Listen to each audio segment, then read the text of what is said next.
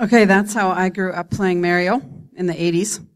And all of you are here wondering what kind of spiritual application I'm going to find.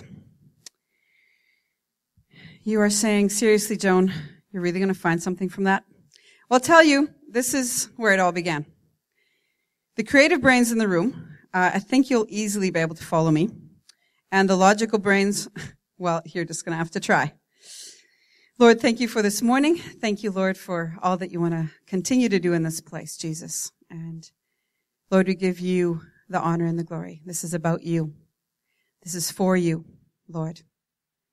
And I pray, Jesus, that you would move, continue to move by your spirit in all of our hearts. Amen. The analogy of Mario conquering obstacles and walking through the door to the next level reminded me of my own journey in the area of obedience. I will share some personal examples in a bit. I see walking in obedience as a key to unlocking this, the next step in our journey. So, if I sense God is telling me to do something and I do it, then the next time he whispers into my heart, I will detect his voice more easily. The opposite is also true. If he whispers something into my heart and I ignore him and do my own selfish thing, then his voice will be quieter the next time and I will have more trouble discerning his voice. In 1 Timothy, that is called a seared conscience, when the ability to do the right thing is fuzzy. Let's take a very practical real life example. On Monday morning, I noticed someone doing an act of kindness on our driveway, snow blowing the drifts that have become so, so common this winter. Thanks, Brian. Brian had a thought that morning. Maybe I should go do some random acts of kindness and clear some people's driveways. He could have said, you know what? I much prefer to stay inside where it's warm and where I can watch the Olympics and maybe the thought did cross his mind. Well, he didn't do the selfish thing, but he rather chose the unselfish thing. And I can assure you that if he had decided to stay and not obey the prompting in his heart, the next time that that prompting came, he would be more prone to stay inside yet again. And so it goes. With obedience comes more obedience, and with that comes a whole lot of joy because you've done the right thing and you've obeyed God's voice. Breaking the cycle of disobedience is possible, but it's much tougher. And once there's a pattern of disobedience established. Does this make any sense? Tracking with me at all? Yeah? Mm-hmm. Okay, awesome. I really hope my heart's going to come through because I have been so excited about this message all week. I had no clue what, what I was going to speak on. I knew it was my turn to come up and, and, um, and in the middle of Gav's message last week, it was just clear. Obedience. And I've been so excited about it. And then yesterday it sort of went on a nosedive and I said to Gav, I am never ever speaking again. Ever. So y'all heard that? So my topic's on obedience, so I better obey what I'm, what I'm preaching. This is where Mario comes in again. If the obstacles are not conquered in the level, it has to be done again. Okay? So if you have trouble obeying in a certain area, you'll probably be doing that again and again until you choose to obey. Let's take a look at the Israelites in the desert. And they continued to disobey time and time and time again, not conquering the obstacles and tests that God put in their way. And as a result, they stayed on that level for 40 years, going round and round the mountain. Instead of responding with obedience and trust, they stayed in rebellion and disobedience. Psalm 78 talks about how they continued in sin and didn't trust God even after all the amazing miracles that God continued to do for them. With obedience and trust, they could have entered the promised land and be filled with incredible joy, coming home at last. Over the past eight weeks, we have had some brilliant teaching and challenges along a common thread. Between Jason's Principle of the Path series and Gavin's teaching on uncommon courage, we have all been challenged to make some personal changes. We were challenged to make choices that would lead us in the direction towards our destination. There are choices that lead us closer to Jesus and his ways or away from him. So what were the areas or area that you were challenged so far? Because so far, every Sunday in this year, 2014, has been on those two topics. One of my personal challenges was being obedient in the area of exercise. Taking Jason's theme, it was my intention to get physically fit. But if my direction was staying in bed every morning when my alarm sounded, then I certainly would not reach my destination of being fit. So here's a very, very practical example of his challenge. On Friday morning, the alarm went and my mental gymnastics were in full swing. Okay. One side, stay in bed. It's cozy. It's warm. The other side, get up and go to gym. The other side, stay in, stay in bed. The other side, get up and go. And it was this Gina and Gav told me at breakfast later that I shouldn't go there. Like, why go there, mom? Like, just do it. Well, I didn't. And it was going back and forth, back and forth. So anyways, at that moment, Jason's message and my doctor's orders won the battle and I ended up at the gym. Was it easier to go the following morning? You bet it was. If I had succumbed to laziness, the following morning would have probably kept me in bed again. You see how it goes. Obedience brings about momentum. So what was it for you? Looking at that crossroads, looking at which path. And I can, any one of you who heard that challenge from Jason in the principle of the path and Gavin's uncommon courage, I know there was something, maybe one, two, three things that God challenged you on. In 1956, there was a young man named Loren Cunningham who had a vision from God. The vision was that of waves crashing onto the shores of every continent on earth. When he looked closer in his vision, he realized that the waves were young people taking the gospel of Jesus to every nation. Four years later, after having many talks with his parents and friends about this vision, two of his friends made the first official YWAM trip to go and serve in another country. At the same time, his very wealthy aunt invited him to come and stay with him for a few days. They offered him a very lucrative job, enticing for any young person. The question he asked himself, am I still going to be willing to obey? As hard as it was, he declined his auntie's offer and continued to give his life to expanding this vision that he felt God had given him. 54 years later, because of one man's step of faith and obedience, Youth with a Mission is a powerful tool of God's kingdom being established in this world today. Today, YWAM has 20,000 full-time staff from more than 150 nationalities and a wide variety of denominations who serve at more than 1,200 YWAM locations in 173 nations. More than 4 million students, short-term volunteers, and staff have served with YWAM since its started in 1960. When I started with this topic at the beginning of the week, the word obedience was clear, but the word joy was, was not part of it. As the week progressed, I kept praying about the one thing that God wanted for this morning. Suddenly on Thursday, the words joy and obedience came together. And as I realized, it was like, yeah, that's what's in my heart. The word obey can be heavy and people don't firstly think joyful thoughts. But when we get the freedom that comes with obedience, then joy is such a natural response. I Googled the words joy and obedience. Well, it shocked me to see the opposing ideas that came up in picture form. With the word joy came what you would expect, all sorts of happy pictures, but with the word obey came a bunch of stern-faced men. Uh, no, like, it just happened. Like, I'm not saying this is what I saw, okay? Um, what I really sense from God's heart this morning is that He wants us to leave here wanting to be radically obedient with the results in inexpressible joy.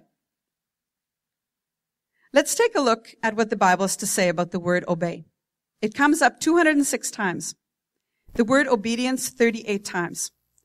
Most of the scriptures talk about how we will be blessed and how it will go well for us if we obey. One of the scriptures that popped out at me is from 1 Samuel 15:22. But Samuel replied, "Does the Lord delight in burnt offerings and sacrifices as much as in obeying the Lord? To obey is better than sacrifice, and to heed is better than the fat of rams. Why is obedience so much better than sacrifice? We can sacrifice things for God and think that we've done our part, but what God is truly looking for is complete surrender and obedience. Obedience is the response of someone who is in a trust relationship with God. We trust God, we depend on Him, and He takes the lead. Obedience is better than sacrifice because we are letting God be God and staying in our, in our proper place with Him. The place of dependence and surrender to His goodness. This kind of obedience leads to intimacy and dependence. John 14 to 17, those chapters are full of amazing scriptures on both obedience and joy. Let's take a look at a few. John 14, Jesus replied, Anyone who loves me will obey my teaching. My Father will love them and we will come to them and make our home with them. Anyone who does not love, love me will not obey my teaching. These words you hear are not my own. They belong to the Father who sent me. John 15, I am the vine, you are the branches. If you remain in me and I in you, you will bear much fruit, for apart from me you can do nothing. As the Father has loved me, so have I loved you. Now remain in my love. If you keep my commands, you will remain in my love, just as I've kept my Father's commands and remain in his love. I've told you this so that my joy may be in you and that your joy may be complete. My command is this, love each other as I have loved you. Greater love has no one than this to lay down one's life for one's friends. So I've talked quite a bit about hearing his voice this morning. How does the Holy Spirit lead? He certainly leads through scriptures like the ones we've just read, obeying his commands, which are in the written word of God. In John 10, it talks about us being his sheep and that as sheep, we hear the shepherd's voice. But how do we do that? Well, it takes, it takes practice and it takes risk taking and stepping out in faith. But how do we know if it's his voice? Well, firstly, let's take a look at something that all of us have. Some of us a little more sensitive than others, but we all have a conscience. Dr. Charles Stanley says this about your conscience and the role of the Holy Spirit. The conscience functions something like a computer. A computer is programmed to respond in specific ways to specific information. Also, it responds to information based on the commands it has been programmed to follow. When you click your word processing application, your computer knows which program to open. For the most part, computers are simply responders. The conscience is a responder as well. It responds to certain input just as it has been programmed. Paul described it like this. For when Gentiles who do not have the law do instinctively the things of the law, these, not having the law, are a law to themselves. In that they show the work of the law written in their hearts their conscience bearing witness and their thoughts alternately accusing or else defending them. God has programmed his moral code into the heart of every man and woman.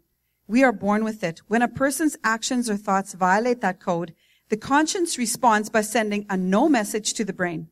On the other hand, when the act or thought goes along with the pre-programmed moral code, the conscience says go. Notice that Paul says our thoughts sometimes point out the legitimacy of certain actions. When that happens, if the actions line up with the law of God written on our hearts, the conscience gives us the go ahead. When you became a Christian, a change began to occur in your conscience. The basic moral code that everyone has at birth started to be overhauled. The spirit of truth took up residency in your heart. Then, whether you were aware of it or not, he immediately set about to reprogram your conscience. Whereas before you had a general sense of right and wrong, the Holy Spirit began renewing your mind to more specific and complete truths. You participate in this renewal process every time you read your Bible, attend worship, memorize a verse, or pray. The Holy Spirit uses all this input to reprogram the database through which your conscience evaluates every opportunity, thought, invitation, word, and deed. As this process continues, your conscience tunes in with the moral code of the Holy Spirit, a code reflecting the moral and ethical standards of God. This process sensitizes you not only to God's moral standards, but also to the will of God. So, our conscience gives us direction in many ways, and as our minds are renewed by the Holy Spirit, our ears become more and more in tune with His voice, and we receive direction directly from Him. For me, this is when the adventure of my faith truly began, when I realized that the Holy Spirit wants to give me direction every day. I now wake up asking, Lord, what is on your agenda for me today? I will give you a number of examples from my life where I followed my conscience and where I followed the Spirit's voice. Way back, I remember when I was five years old, I went to the co-op shopping with my mom. I saw one of the workers there taking a candy from, from the box where there's those, um, bulk candies. I went closer and when no one was looking, I took one. This was my first memory of my conscience feeling so incredibly guilty and knowing that the only way free was to confess. I remember how hard it was for me to admit to my mom, first of all, that I was wrong. And of course, then, you know, as I was raised, we then went, marched straight back to the co-op where then I had to confess to the manager there and ask for his forgiveness. But afterwards, what incredible freedom and joy. The joy of obedience. I could tell you a number of stories from my school years where I either cheated or did something wrong. I couldn't bear having a guilty conscience. And as soon as I confessed, there was the joy of obedience by far the most difficult step of obedience in my life was when I left Canada to go to South Africa. The reason why I made this radical decision was because I was in a relationship that was not glorifying to God, and I knew that needed to change. I wanted to go someplace where no one knew me and where I could start with a clean slate. What took me completely by surprise was that God wanted to deal with my sin and wanted to heal me completely, which is a long story in itself. There are times in life when the cost of obedience is high, but the rewards far outweigh the pain. This was a several year process of deliverance and finally I could say there was joy in obedience. I was nearly engaged to someone other than Gavin in 1989. Young people, seek God about your life's partner. Don't just settle. Do a mission trip on your own or some sort of adventure where your focus is something else or Jesus. Pray and fast about your marriage partner and please, please obey the deep inner promptings of the Holy Spirit, even if it's unbearably painful at the time. The rewards will far outweigh the, the pain. I promise you. Thankfully, my eyes were open to see that he wasn't right for me. And there was joy in obedience. About 10 years ago, I had a recurring dream about a friend who I had had a disagreement with several years before. And every time I would wake up, I would sense the Holy Spirit say, go and reconcile. Finally, after months of pushing this to the side, and I had literally, I had months of the same dream. I plucked up the courage to call her. We went out for lunch, chatted through our stuff and our misunderstandings, and God restored our relationship. There was joy in obedience. A few months ago, I felt a strong urge to give a community person a hundred dollars. Really, Lord? I don't have that extra. The urge was so, so strong. I knew that I had to, had to obey. The timing was right. God knew what she needed and there was joy in obedience.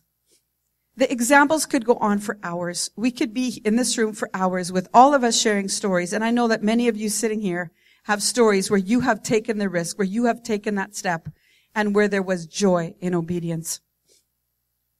As we end this morning, I want to encourage you to press in and grab hold of freedom that comes through obedience. The abundant life that Jesus has promised you will come when you take radical steps of obedience and follow his promptings. And don't forget, this is not about stressing and striving. This is about surrender and letting him take the lead. Like Cindy reminded us a few months ago, the acronym of STOP that God had given her, which is such a fitting way to end this morning. Surrender. Let him take the reins of your life. Trust. Trust that you are hearing his voice, which leads to obey. And once we have obeyed his voice, that leads to praise. May God bless his word planted into our hearts this morning. May the seeds planted bear much fruit for God's glory and for his kingdom. Be encouraged as you leave today. There is much joy in obedience. Let's stand together and pray. Worthy of our praise, Jesus. We love you, Lord. Lord, you've spoken a word to us today, and we want to be obedient to step forward into what you've called us to. And some of the prayer team are making their way to the front. If you know that you need prayer today, just make your way to the front. We're just going to end with a simple chorus. Hallelujah. Just going to sing that together and continue to let the Holy Spirit minister to you. If even through this time, you know there was something that just um, resonated in your heart through the message, and you want to leave a prayer request in what Kevin was talking about at the back as you leave. Um, thanks, Brittany, for for doing that. So awesome. Now is the day of salvation. Now is the time. This word is now. And if you've been challenged in any way, I encourage you to grab hold of the word. Grab hold of, of someone to pray together with you and make things right. If there's something the Holy Spirit convicted you about, make things right. Let's sing this together. Just very simple. Hallelujah.